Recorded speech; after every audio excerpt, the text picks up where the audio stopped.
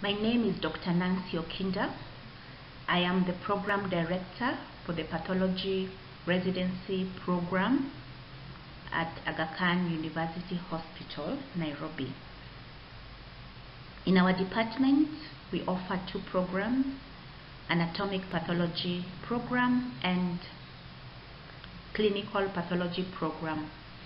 So I will talk uh, about the clinical pathology program in this presentation.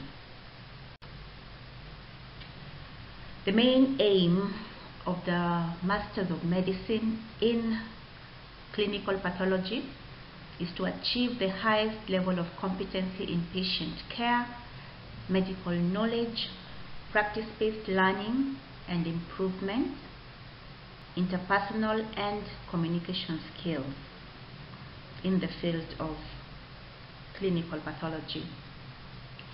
The program has certain expectations. It's a four-year training program and it's designed to enable the graduate to provide consult consultancy services in chemical pathology, hematology, clinical microbiology, and immunopathology. We also aim to provide skills in the principles of lab management and administration for our graduates. The graduates are expected to be competent, uh, to be able to initiate research and to collaborate with the colleagues in undertaking research. We train our residents uh, to take responsibility for their continuing professional development and also for their colleagues and junior staff.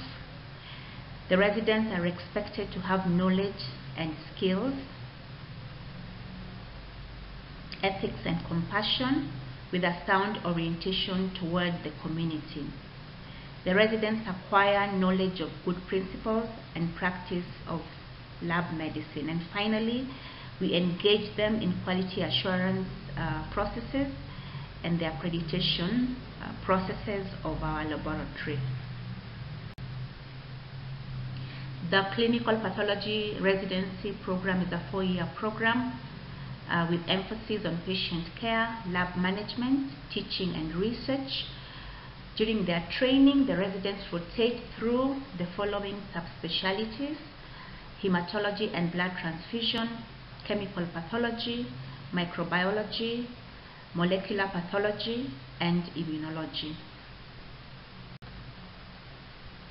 During their rotations through the earlier mentioned uh, subdisciplines or subspecialties, uh, the residents are expected to learn about um, administration of uh, clinical laboratories.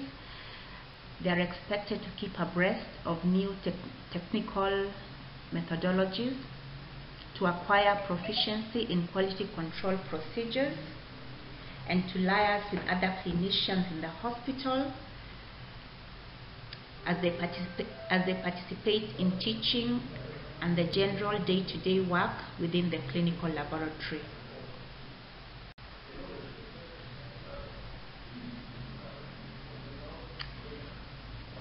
During their rotations, there are certain, there are certain academic activities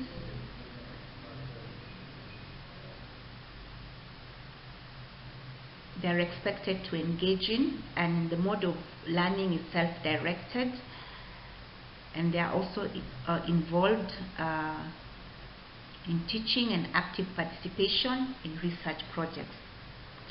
The responsibilities of the residents are graded so as they ascend uh, up in the year of, years of training they're given more practical uh, and um, leadership responsibilities. They are also expected to participate in the postgraduate program of the department and the clinical academic meetings within the institution. The department also encourages the residents to present their research findings at national and international conferences or meetings. During the training, the program is supervised um, by the Departmental Residency Training Committee, which is headed by myself, the program director, and various discipline coordinators. The, DR, the DRTC will be composed, is normally composed of faculty members from various divisions and a resident representative.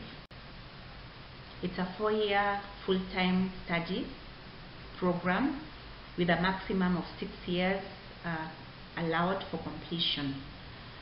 During their training, the residents' performance is, is evaluated using various tools. We have the formative assessment tools and the summative assessment tools. The formative assessment uh, uses work-based assessment whereby the various competencies are assessed during the training of the resident and at the end of their second year of training a summative assessment is performed um, during their part one examinations and also in their fourth year of training the residents also sit their exit examination which is also a summative assessment. Thank you.